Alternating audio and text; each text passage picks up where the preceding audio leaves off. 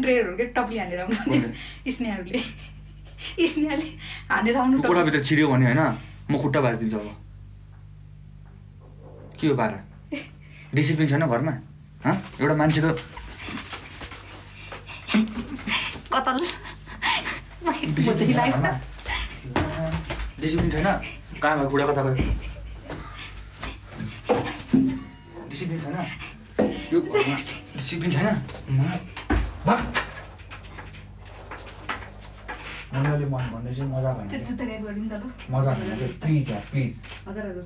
मजा गर्नु मिल्छ नि प्लिज जुत्ता अस्सी हजारको सुज है तेरा घर जाएगा तुझे तो भाग